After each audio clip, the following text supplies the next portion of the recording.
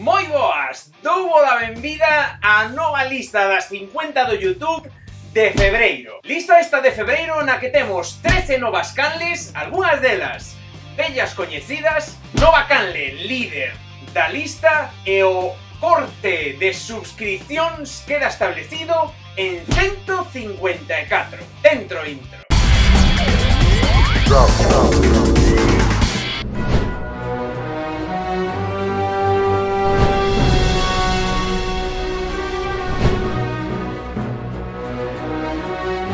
Saen de lista a Chanel Audiovisual, Galician Gamer, Urdime Vídeos, Cultura Activa, Ben Feito, Antón Caeiro, César Galdo, José Iglesias, Los Jinetes del Trópico, Adrienone, Naturiza, Campo Galego e Vídeos Vos. E agora sí, comeza o repaso a nova listaxe de febreiro. Para conseguir que en vez de marcharvos, que vos votasen. Eh, yo creo que casi diría 49, Dito dunha persoa expresa a súa opinión de unha forma firme. 48, A trompa que leaba, hoxe non sei se non dormirá na caseta do can. remata este 47, día y um, estamos de vacaciones durante una semana. 46, 45, É que esses galegos son mais complicados que perestroicas, ah? 44. 43. Poblado, pero bueno, claro. aquí estamos aplaudindo. Eu no. No a la guerra. 42. E tamén temos o asasino, que é Pedro Bandariz. Boa tarde, igual falei moito, igual o asesino é o outro. 41. Poemas galegos, pois, non?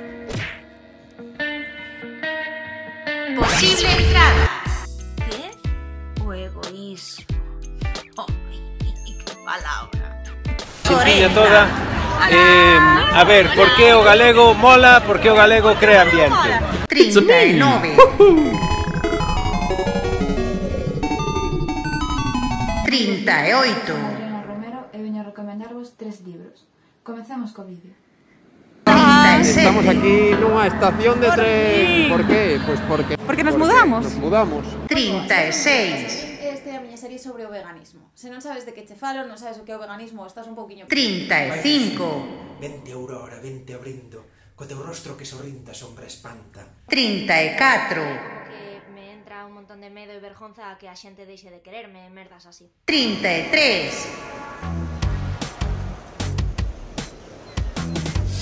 32 Vai contra a veces gravamos unha tarde pola tarde o capítulo e a noite só temos pegado. 31. Ah, pará, fica coa bola, guacho. Señor Pablo, o primeiro de todo... Posible entrada. E agardado porque se trata do paquete do mecenazgo preventa. 30. Pois pues, pechamos as, as nosas xornadas sobre o entroido de Galiza que este ano... 29. Aquí están os chavalitos.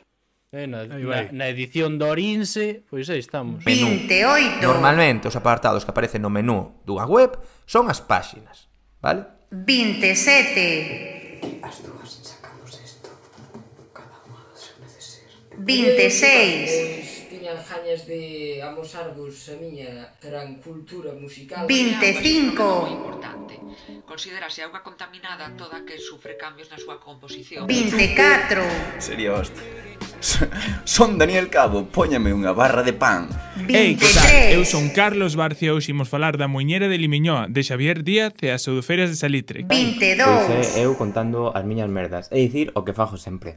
Vos odiades os coches? Eu sí. 21! Suscríbete, suscríbete, suscríbete a Lobeira Today. Posible entrada tratando de amoldarse, que non adaptarse á cidade, aos centros urbanos.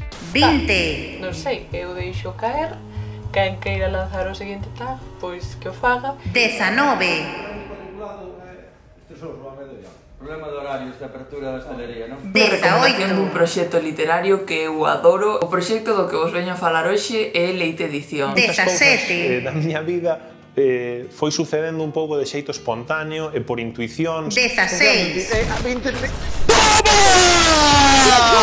¡Vamos! ¡Vamos! 15. Pois porque teño dereito a peinarme ou non peinarme se si me dá a gana. 14. Máis que xente lista. O único parvo son eu. Despois o resto todo o mundo experto en algo. 13. Gracias a ti, Diego, que se si non nos apoyamos do Ourense entre nós, quen, quen vai facelo?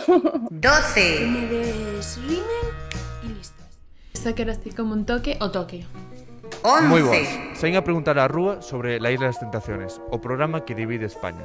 Dentro... Posible entrar. A Santa Compaña é unha reunión de polo menos cinco almas en pena que cada noite percorren as parroquias de Galicia. Pero seguimos desconfiadas, estamos aquí nun lugar secreto da parroquia do Ío a carón deste grafiti de Lidia Cao. Todos, hoxe imos de ruta, imos a Cambados, en Pontevedra, a festa do Albariño. Oito! Xente de ciencia, toca falar da presión e do aire da atmosfera. Sete! Seis. Eh, vou facer unha presentación así cutre. Así. Vale. Fox, eh, sí. Eh, hola, chuses. Oh. Posible eh, entrada.